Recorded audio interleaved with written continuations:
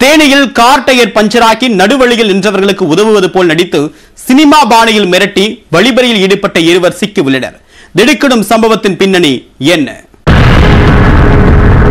கேரள மாநிலம் இடுக்கி மாவட்டம் முக்குடில் பகுதியை சேர்ந்தவர் முப்பத்தி ஒரு வயதான அருண் திவாகரன்.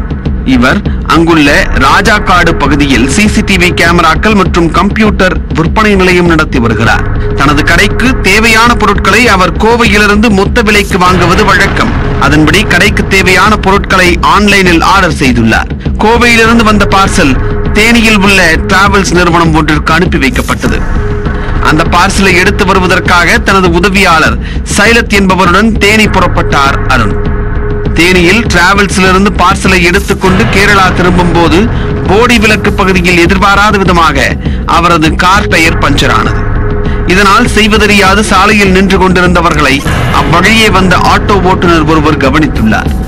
அவர்களிடம் தனக்கு தெரிந்த பஞ்சர் பழுது பார்க்கும் கடை இருப்பதாகவும் அங்கு அழைத்துச் செல்வதாகவும் கூறியுள்ளார். இதனை நம்பிய அருண் திவாகரன் மற்றும் சைலத் இருவரும் ஆட்டோவில் சென்றுள்ளனர். செல்லும் வழியில் தனது நண்பர் என கூறி இளைஞர் ஒருவரை ஆட்டோவில் ஏற்றியுள்ளார் ஓட்டுநர். பின் பஞ்சர் கடைக்கு செல்லாமல் ஆட்டோவை ஆள் நடமாட்டம் இல்லாத பகுதிக்கு ஓட்டிச் சென்றுள்ளார்.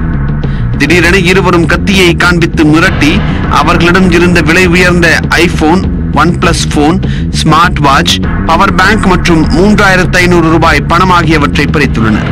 அதோடு நில்லாமல் ஏடிஎம்மிலிருந்து பணத்தை எடுத்து தருமாறு கூறி அவர்களை மிரட்டி மீண்டும் தேனி போடி சாலையில் ஆட்டோவை ஓட்டிச் சென்றுள்ளனர் அப்போது கோடாங்கிப்பட்டி பகுதியில் உள்ள ஏடிஎம்மிற்கு சைலத்தை மட்டும் ஆட்டோ ஓட்டுநரின் நண்பர் அழைத்துச் சென்றபோது அங்கிருந்த நபர்களிடம் உதவி கோரி சத்தம் போட்டுள்ளார் சைலத். சுதாரித்துக் கொண்ட அந்த நபர் அவரை அங்கேயே விட்டுவிட்டு ஆட்டோவில் ஏறி தப்பிவிட்டார். கொட்டக்குடி ஆற்றுப்பாலத்தில் ஆட்டோவை நிறுத்தியவர்கள் ஆத்திரத்தில் அருண் திவாகரனை சரமாரியாக அடித்து உதைத்தனர். பின் அவரை பாலத்தின் கீழே தள்ளிவிட்டு அங்கிருந்து தப்பி ஓடி தலைமறைவாகினர். பாதிக்கப்பட்ட அருண் சைலத் இருவரும் இரத்த காயங்களுடன் பழனிச்செட்டிப்பட்டி காவல் நிலையத்தில் புகார் அளித்தனர். வழக்கு பதிவு செய்த போலீசார் சம்பந்தப்பட்ட ஆட்டோ பதிவு எண்ணை கொண்டு வழிப்பறியில் ஈடுபட்ட ஓட்டுநரையும் அவரது நண்பரையும் கண்டுபிடித்தனர். விசாரணையில் அவர்கள் பழனிச்செட்டிப்பட்டி பகுதியைச் சேர்ந்த கௌதம் காம்பீர் கதிரேசன் என்பது தெரிய வந்தது பிடிபட்டவர்களிடம் இருந்து செல்போன் பணம் உள்ளிட்ட அறுபத்தி ஐந்தாயிரம் ரூபாய் மதிப்புள்ள பொருட்கள் பறிமுதல் செய்யப்பட்டன.